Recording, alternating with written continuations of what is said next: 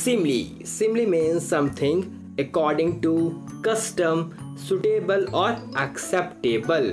मतलब ऐसा कुछ जो सुटेबल हो प्रॉपर हो अप्रोप्रिएट हो एक्सेप्टेबल हो तो उसे ही कहते हैं सिमली इसे आप एग्ज़ाम्पल समझो अच्छे से क्लियर हो जाएगा जैसे सिमली बिहेवियर मतलब ऐसा बिहेवियर जो उस सिचुएशन के हिसाब से प्रॉपर हो डिसेंट हो अप्रोप्रिएट हो तो वो होगा सिम्बली जैसे सपोज़ आप स्कूल में हो और आपको पता चला कि आपके प्रिंसिपल आने वाले हैं तो आपको सिमली बिहेव करना पड़ेगा। सिमली बिहेव बोले तो आप जब आपके टीचर या प्रिंसिपल आएँगे तो आपको अच्छे से खड़े होकर आपको विश करना पड़ेगा good morning sir good afternoon sir आप उस टाइम बैठे नहीं रह सकते हो। अब प्रिंसिपल आ रहे हैं, भाई तो ठीक से तो प्रॉपर आपको बिहेव करना ही पड़ेगा ना? तो वो जो सिचुएशन के हिसाब से आप जो प्रॉपरली बिहेव करोगे, जो सबके लिए एक्सेप्टेबल है, आप जो प्रॉपरली बिहेव करोगे, वो होगा simply.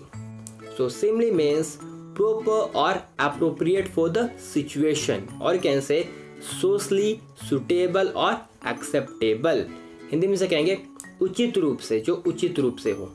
और इसको देखो, याद रखने के लिए आप इसको करो डेट सीमा से। सीमली सीमा सपोज़ ये इसका नाम है सीमा।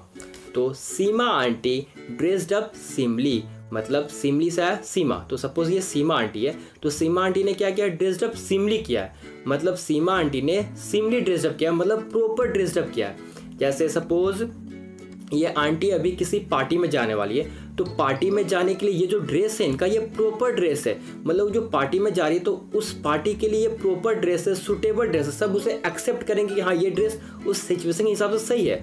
अगर सपोज़ करो यही ये ये ड्रेस पहन के, ये जो ड्रेस है, ये ड्रेस पहन के ये किसी के फ्यूनरल में जाती फ्यूनरल में जाती। तो ये क्या प्रॉपर था? नहीं ना, उस टाइम तो आपको व्हाइट कपड़े पहनना पड़ेगा या और भी कोई सादा कपड़ा पहनना पड़ेगा। अब उस टाइम आप ये इतने अच्छे कपड़े ड्रेस पहन के जाओगे तो वो फ्यूनरल का भाई सिचुएशन है। आप वहाँ पे इतने अच्छे ड्रेस पहन के नहीं ना जा सकते हो। तो वही बात है। तो अगर जो प्रॉपर हो मतलब ये पार्टी के लिए तो प्रॉपर है बट ये फ्यूनरल के लिए प्रॉपर नहीं है। तो जो सिचुएशन के हिसाब से प्रॉपर होगा, वो होगा सिमली तो इसको रेट सीमा से। Seema aunty dressed up simply तो सीमा सिमली ये ड्रेस है okay for example seemly behaviour मतलब अब जैसे मैंने लिया था एग्ज़ाम्पल अब जो स्कूल में वो सिमली बिहेव करना पड़ेगा। Next is a simply gesture gesture मतलब आपको जो गेस्चर होता है ना, आपका बॉडी का गेस्चर तो जैसे सपोज़ मैंने लिया था एग्ज़ाम्पल ये टीचर हैं तो ओके तो सपोज़ टीचर आए तो आपको आप बेंच में बैठे हो ओके तो आप जो उस टाइम को सिमली गेस्टर में रहना मतलब अच्छे से स्ट्रेट बैठना पड़ेगा या स्ट्रेट खड़ा रहना पड़ेगा? अब आप टीचर सामने तो आप क्या, पैर ऊपर करके बैठ सकते हो? नहीं ना। तो वो अनसिमली हो जाएगा, वो अनसिमली गेस्टर हो जाएगा। तो आपको उस टाइम प्रॉपरली जो बैठना पड़ेगा अच्छे से अप्रोप्रिएटली तो वो होगा सिमली गेस्टर एंड इसके रिलेटेड वर्ड्स है सिमलीनेस। ये एक नाउन है एंड सिमली के एंटोनिम्स सिनोनिम्स है। Congruous suitable correct, decent, proper. And its antonyms है inappropriate, unseemly, improper, incorrect. So guys, that's it for now. Thanks for watching. Do watch all the videos of only vocabulary to make your English vocabulary better. And do subscribe to our channel and stay updated to all related lessons.